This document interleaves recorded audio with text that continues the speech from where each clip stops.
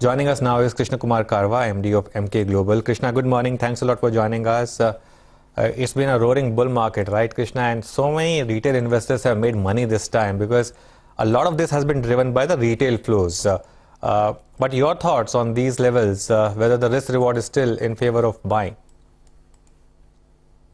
Yeah, last uh, 12 to 18 months have been very good for investors. And this is a classic dilemma when you are in the midst of a raging bull market that it's time to take money off the table or still to continue to stay invested.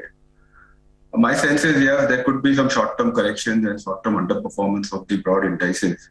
But broadly, it is not the time to take money off the table. I think investors uh, need to be careful about their overall uh, capital allocations and risk appetite and accordingly need to manage their portfolios. But uh, having said that, I think uh, valuation may be slightly rich, so the returns could be slightly back-ended. But I think we uh, broadly corporate India performances across sectors should be very well in the next uh, 12 to 24 months. And still, there are some decent returns to be made from a medium-term perspective. Also, it's very difficult to time the market. I think more important is to stay in, invested in the market across cycles, then I think on an overall CAGR basis, your return should be reasonable. Because uh, if you exit now and the markets go up, then it's very difficult for investors to again make an entry into the market.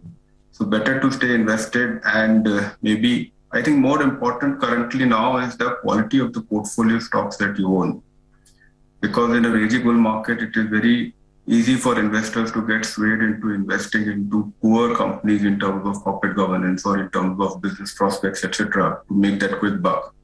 I think that is one where, where one needs to be very, very careful in terms of the quality of stocks that are in your portfolio. So even if there is any uh, corrections or if there is any uh, kind of consolidation, you should be happy owning the stocks or, or you should be rather comfortable owning the stocks that you own.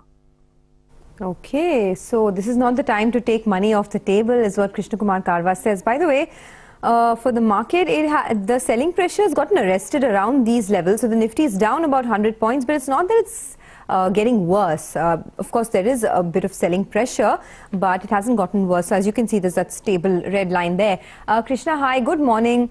So, you know, how does one approach the market now in terms of where to put fresh money to work when this dip comes through? Uh, where do you still see pockets of value and growth combined? And, uh, you know, what are the spaces that you're still bullish on? One thing that we've seen in the last six, eight months is that uh, having a balanced portfolio and not trying to chase sectors have done very well, which means that uh, uh, just not chase sectors which are performing in that moment. But if you hold on to the stocks that you own or the sectors, I think by rotation, you're getting a chance.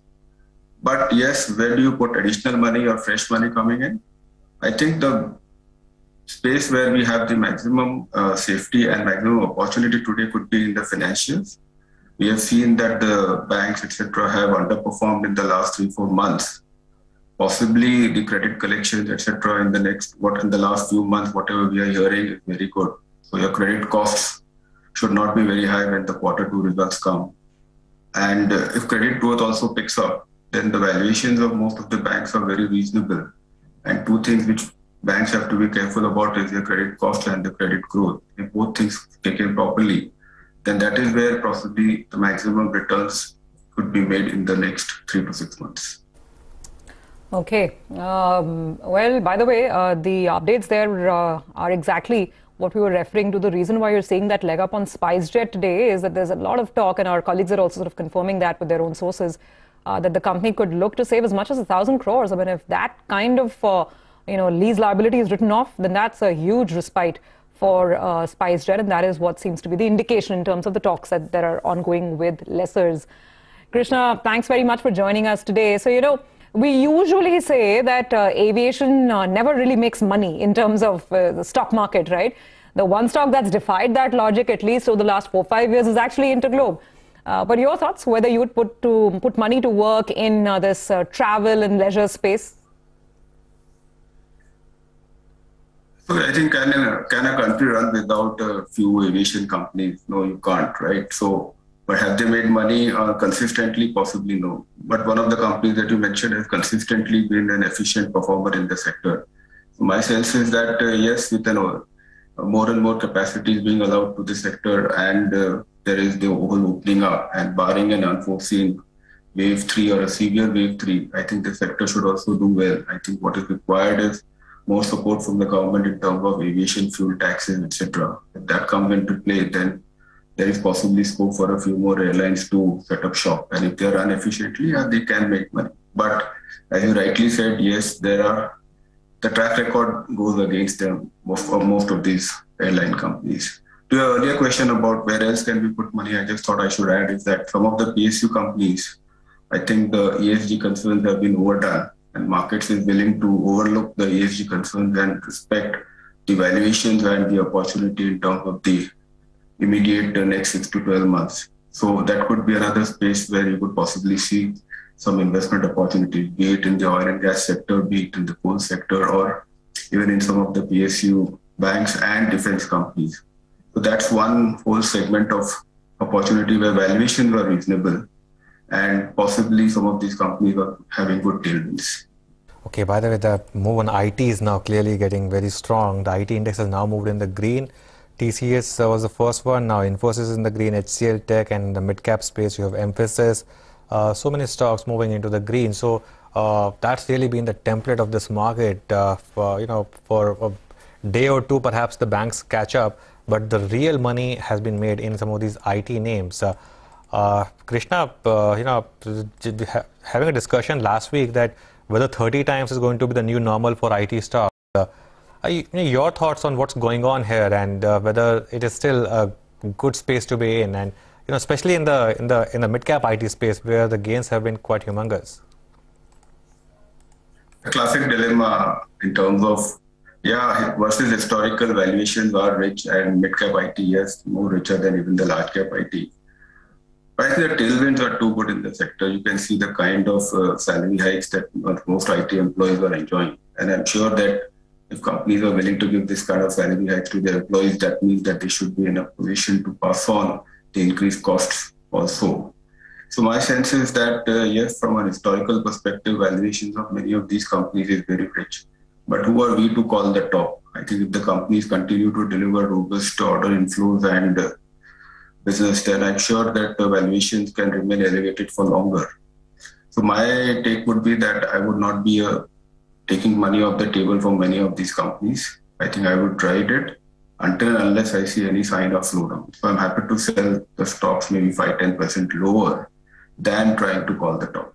Okay, that's a great uh, that's a great strategy, right? I mean, because the you don't know when this top would come. I mean, every time you think the stocks are getting expensive, they rise a bit more. In fact, as we speak, you know, Mindtree is at a fresh high, one percent higher. Tata Elxsi is at a fresh high. More on that stock in a bit.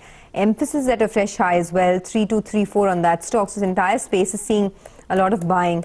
Uh, I wanted to ask you about metals because over there, uh, you know, demand has definitely picked up. Um, globally, too, things are sort of resuming now. You know, pr production in China has gone up. Uh, how do you see this space? I mean, would you buy the dip, or do you think that a large part of this rally is done already? Well, experts in the sector believe that there is a super cycle as far as the metal space is concerned, ferrous metal specifically. So there is not, I mean, and there are valid reasons for that. Maybe curve in China, maybe demand or US-led infrastructure spending, and maybe export restriction in some of the other global exporting countries. I don't think so. That is a challenge. The challenge is that uh, all the excess cash or the high profitability many of these metal companies will enjoy.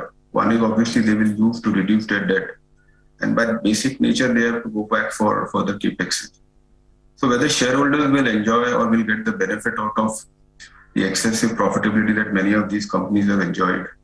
Possibly no. And that is the reason why possibly we'll have to look at the valuation from that prism. That means that excess and also the sustainability of these super profits.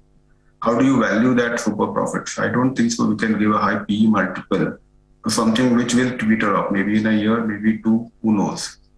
So my sense is that yes, uh, the sector is enjoying a good run and uh, most balance sheets will repair like nobody's business. So maybe they will settle at higher valuations versus uh, historical averages.